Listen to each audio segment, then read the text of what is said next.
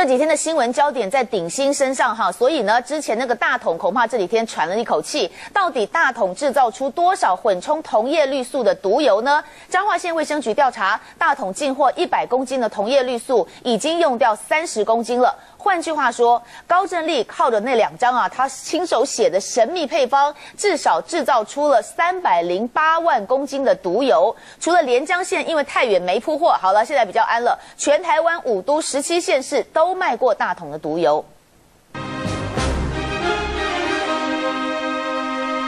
大桶进口了百公斤同叶绿素，藏身在工厂二楼这处神秘调配室里。靠这两张只有高真利还有两名亲信才能看到的神秘配方表。已经有三十公斤的同叶绿素被混进油里，制造出了三百零八万公斤的毒油，全被消费者吃进肚子，不法获利超过五亿。根据调查，大桶向比菲多进口百公斤的同叶绿素，已经用掉了三十公斤。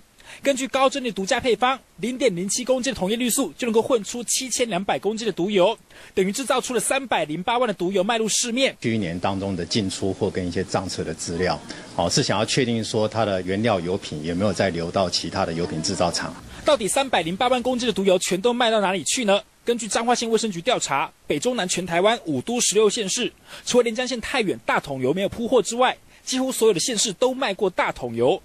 高振利和两名亲信在公司二楼调制混充同叶绿素的橄榄油，靠着两张神秘的配方表大赚黑心钱。记者陈梦辉彰化报道。